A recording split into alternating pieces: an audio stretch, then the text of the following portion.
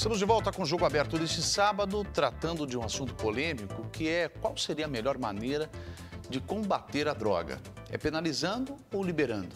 Estranho isso, né, doutor? Como que liberar a droga pode ser a melhor maneira de combatê-la? Mas é isso que a gente está tratando e que o doutor está trazendo números a respeito disso, inclusive. A pergunta do bloco anterior, antes de avançarmos para essa área, é a seguinte: o Estado teria hoje, brasileiro, condições de controlar tudo isso, doutor, e acabar com o tráfico de drogas? Ou teríamos, teríamos o tráfico agindo e mais o Estado controlando? Nenhum Estado, nenhum, ele consegue controlar o uso da substância entorpecente fora dos parâmetros legais. Isso com relação à bebida alcoólica ou com qualquer estado em que tenha a droga legalizada para o uso.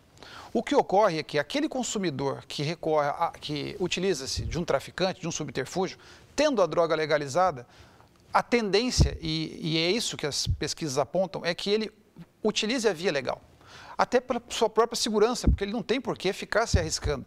Ele vai ter acesso a uma droga de melhor qualidade e, e que não estará misturada com outras substâncias que poderão causar causar um malefício maior do que a própria droga. Que é preciso deixar claro ao seu telespectador que qualquer tipo de droga é nociva, seja ela maconha, crack, cocaína, heroína, nicotina e álcool. Todas as drogas possuem malefício. Qual a sua opinião sobre droga, doutor, para ficar clara a sua posição? O senhor é a favor do uso de drogas, por Sou exemplo? radicalmente contra o uso de qualquer tipo de droga. Muito bem. A questão, a questão é que criminalizar o uso fomenta a criminalidade e não gera diminuição do consumo de droga. O que vai gerar diminuição do consumo de droga, como a diminuição do consumo de outras drogas lícitas, como por exemplo álcool e nicotina, são campanhas de saúde e campanhas esclarecedoras, incentivando o indivíduo a práticas saudáveis.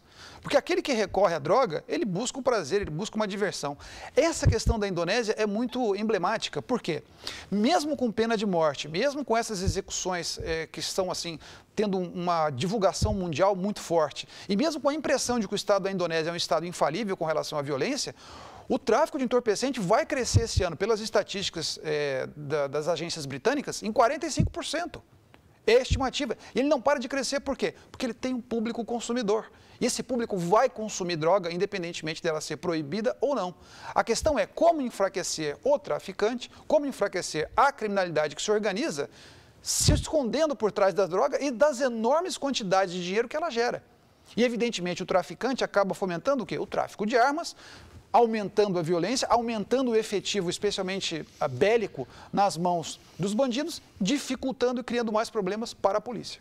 O senhor fala da despenalização, é isso, né? Despenalização. De todas as drogas, doutor? Ou especificamente da maconha, por exemplo?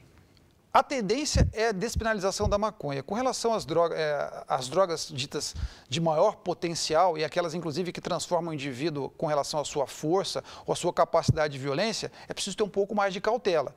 Mas ah, os estudos acadêmicos dizem que isso será uma tendência inevitável, que no futuro, não podemos precisar quantos anos, provavelmente a tendência à liberação das drogas com o sucesso da descriminalização de drogas menores será uma consequência, é, como é que eu vou dizer assim, que nós não poderemos fugir. Mas pela teoria do senhor é por pura questão moral, então. Porque a, a linha que o senhor apresentou, é, a maconha também faz mal. Sim. A cocaína é, seria só um mal diferente, mas que também faz mal. Pela linha que o senhor falou, poderia ser aplicada hoje com todas as drogas. A tendência seria essa. A Já tendência... que a penalização não combate ela. Exatamente. Porque eu vou inverter a situação. Se você criminalizar o uso do álcool, se você criminalizar o uso da cerveja, da cachaça, do uísque, da vodka, qualquer bebida, você não vai ter a diminuição no consumo. No primeiro momento talvez tenha, mas depois ele vai voltar e você não vai ter penitenciária para colocar todo mundo. Essa é a questão que as pessoas precisam enxergar e refletir. Não é pela proibição, pela criminalização que você obtém resultado. Uhum. O Estado não pode querer, só concluir o raciocínio, tutelar o cidadão desse jeito. Ah, vai fazer mal para ele. Mas, a partir do momento que, sob efeito entorpecente, o cidadão causa um malefício à sociedade, que a sanção seja maior. Entendi. Então, se ele provocar um acidente porque o reflexo dele estava reduzido pelo uso da maconha, por exemplo. Evidente.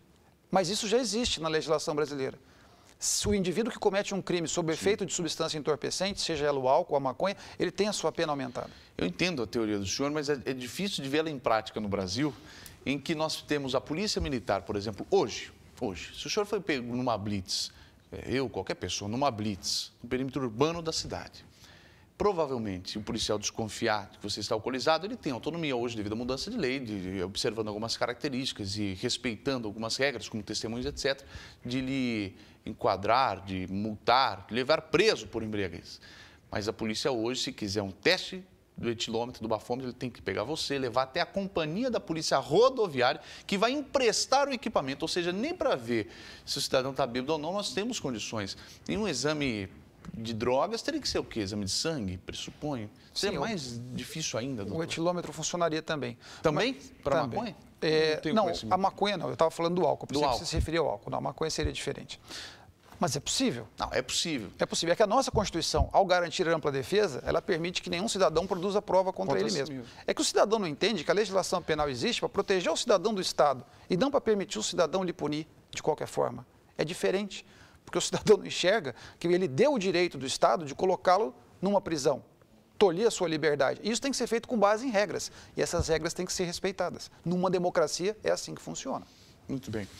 Doutor, eu vejo outra possibilidade, seguindo a sua linha, do cidadão que nunca utilizou a droga por medo é, de cometer uma contravenção penal, de ser preso, talvez.